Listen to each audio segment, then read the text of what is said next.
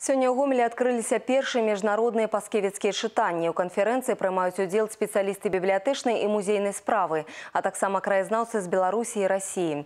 З гісторыяй сям'і, якая аб'ядноўвае некалькі краін, знаёміліся наши корреспонденты. Ее особенностью является исключительная историческая редкость. Книга была осуждена церковно-религиозным судом в Сорбоне. Тиражи ее уничтожались на кострах Священной Инквизиции. В этой книге вы можете увидеть уникальные исторические гравюры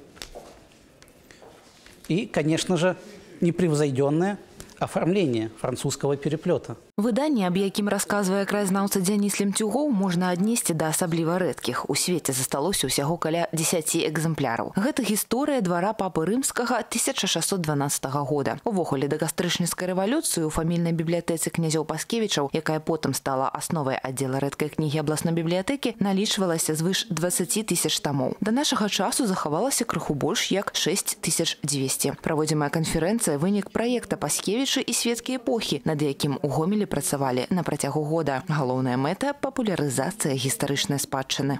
В Гомельском имении в 1882 году впервые в Беларуси появился телефон. И это всего через 6 лет после того, как изобретение американского инженера Александра Белла было продемонстрировано на выставке Всемирной в Филадельфии. Телефонную станцию имела и Добружская пищебумажная фабрика.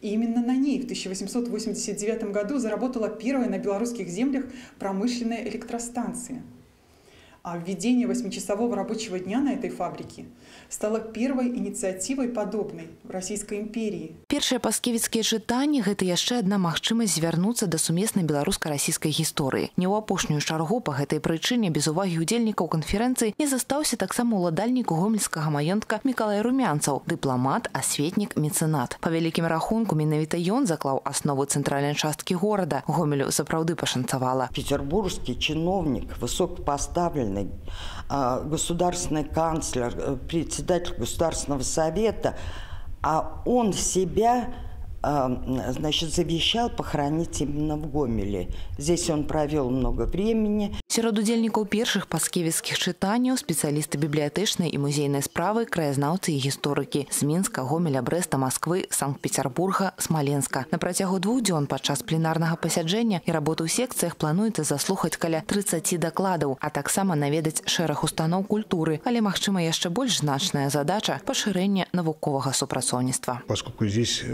вашей библиотеке в библиотеке гомельской областной библиотеки начинается и уже вовсю идет э, большая серьезная работа по изучению наследия э, Паскевичей. Мы приглашаем всех э, ознакомиться поподробнее с фондом Российской государственной библиотеки. И я уверен, что это ознакомление значительно обогатит наше представление об этой выдающейся исторической личности. Олег Сентюров, Евгения Кухаронок, Валерий Гапанько, телерадиокомпания «Гомель».